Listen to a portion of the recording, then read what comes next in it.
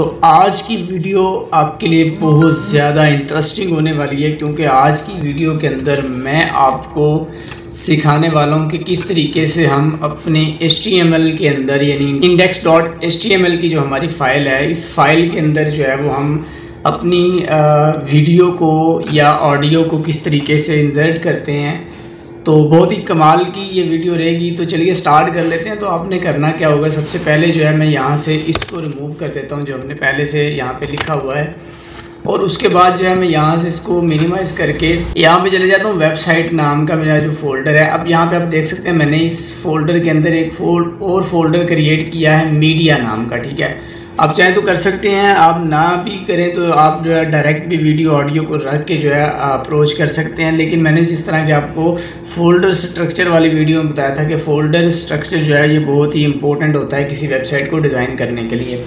तो यहाँ पे मैंने जो है फोल्डर मीडिया नाम का बनाया। अब इसके अंदर जो है वो मैंने दो फ़ाइल रखी हैं, एक ऑडियो की और एक वीडियो की, ठीक है?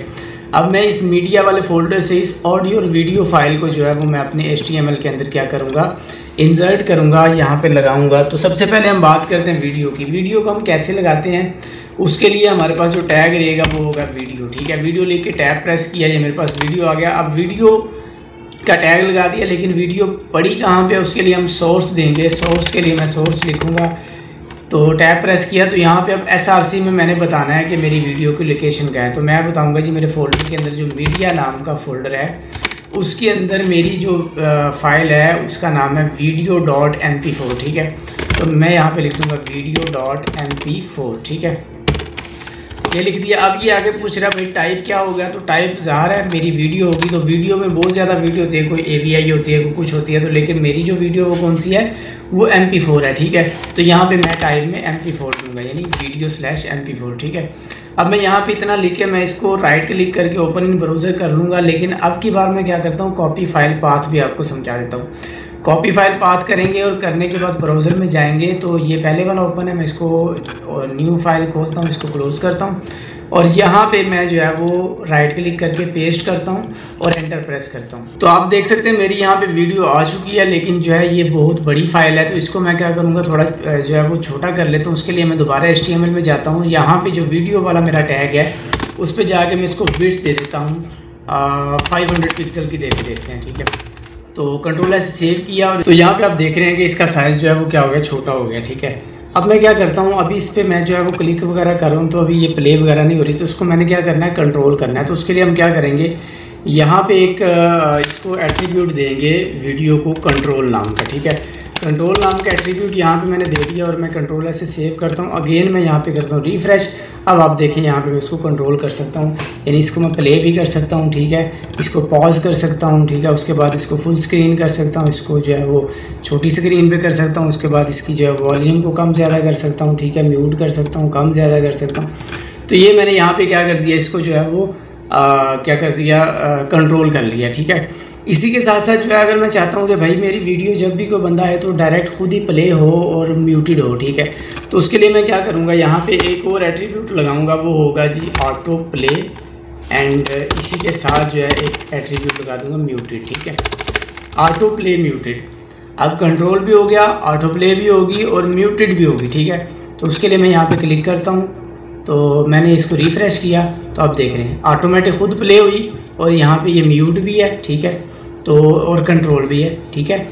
तो ये था जी हम वीडियो को किस तरीके से अपनी एस फ़ाइल के अंदर जो है वो इंसर्ट करते हैं। तो चलिए अब बात कर लेते हैं ऑडियो की। तो ऑडियो के लिए हम क्या करेंगे? यहाँ पे मैं लिखूँगा ऑडियो और प्रेस करूँगा टैब एंड एंटर और उसके बाद अगेन वही सोर्स वाला, ठीक है?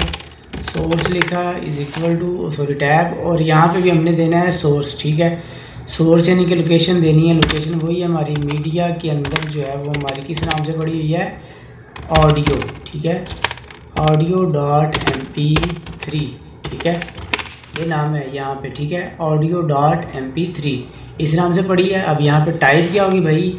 आप खुद ज़रा गैस करो हाँ भाई, क्या टाइप हो सकती है? खैर, यहाँ पे ऑडियो बटा एम पी थ्री ठीक है?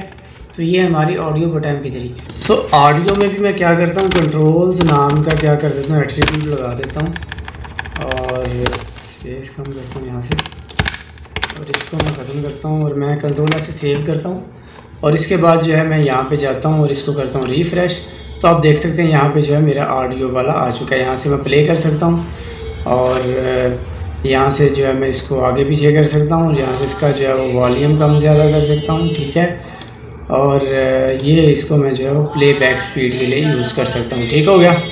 चलिए, मैं काम करता हूँ, मैंने इसको थोड़ा सा ना और ब्यूटीफुल बनाने की कोशिश करता हूँ तो उसके लिए मैं क्या करता हूँ, एक कैश वन देता हूँ यहाँ पे।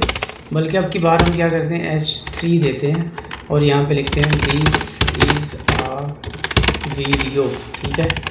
और इसी को मैं कॉपी करता हूँ कॉपी करके मैं जो है ऑडियो के ऊपर लगाता हूँ this is a this is an audio है ना ए के साथ है, ठीक है?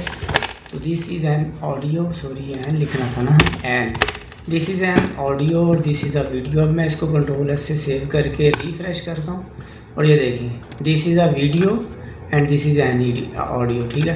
तो इस तरीके से आप जो अपने एच फ़ाइल के अंदर जो है वो वीडियो और ऑडियो को इंसर्ट कर सकते हो, लगा सकते हो, उनका साइज़ बड़ा छोटा कर सकते हो अपने हिसाब से एडजस्ट कर सकते हो, ठीक है? तो उम्मीद करता हूँ आज की वीडियो भी आपको काफ़ी अच्छी लगी अगर वीडियो अच्छी लगी, वीडियो को लाइक कर दो, दोस्तों के साथ शेयर कर दो। न्यू हो मेरे चैनल पे तो चैनल को सब्सक्राइब कर लो। मिलता हूँ नेक्स्ट वीडियो में, तब तक के लिए इजाज़त दीजिए। अल्लाह निगेबान।